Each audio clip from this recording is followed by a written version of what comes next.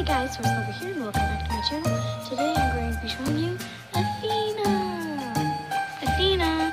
So this is Athena. She's my yearling Mustang and I'm going to have her for 100 days to train her and to gentle and halter break her. So join me on my journey and I'm just going to show you some highlights